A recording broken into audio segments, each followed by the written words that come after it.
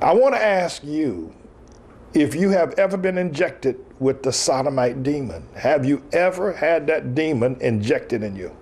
Now, I tell women, I preach this all the time in our church. I say, you know, if you have sexual intercourse with a man and he plants his semen inside of you, that semen, whether it makes you pregnant or not, uh, enters into your blood system. It go, your womb is a place for the receptacle and it goes into your blood system. And whatever he has in his blood is in your blood. And for instance, if he has a disease in his blood through his semen, and the, the semen is the cream of the blood, semen is produced by the blood. It is the cream, it is the it is the power, it is the cream of blood. That's just no other way to say it.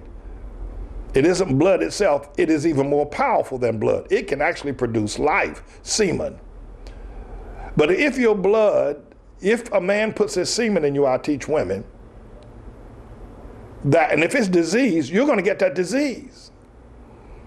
You're going whatever that is, whether it's AIDS or syphilis or uh, one of these other diseases, you're going to get it because it's going to go right into your blood system, right through your vagina, right to your womb. If a man injects himself in you, if a man injects himself in another man and injects his semen into him and he's crazy, then that's going to get in his blood as well.